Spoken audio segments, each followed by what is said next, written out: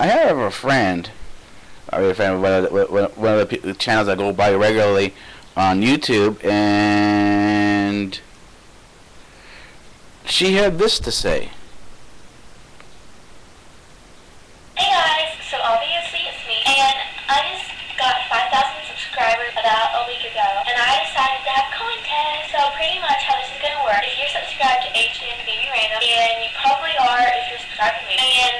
She had this contest a few months ago, and I wanted to have one like that too. So this whole contest is inspired by her idea. So how it works, if you don't know, you just leave any kind of video as a video response. Any video that you want. You can only submit one video. If you submit more than one, you're going to be disqualified. You have a week to do this, and like, I'm going to choose the top 20 competitors out of all those videos, and then I'm going to start giving challenges. Each challenge, it could be like, make a storyline, or make a flashy video, or etc., etc. And I'll give you a week to finish that video. And then after top 20, I will narrow it down to top 15, and then top 10. When I get to top 10, I'll start having prizes, like, if you get top 10 and then you get eliminated, you still get like a subscription or something. But I don't know if the exact prizes yet, but I know that they should be good. So after top 10 will be a top 5, and then a top 3, and then a top 2, and then finally a top number 1 winner who won the whole thing out of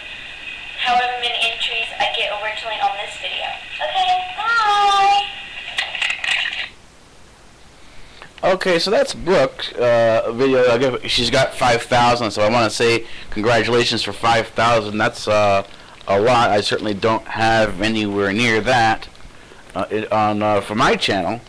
So uh, I think the best way to start off the video is, uh, as I said, this is a walk by. This is my stroll around YouTube, and I'm saying hello. Hello, Brooke.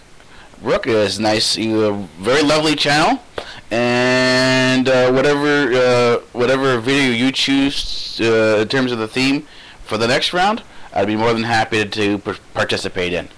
All right, take it easy.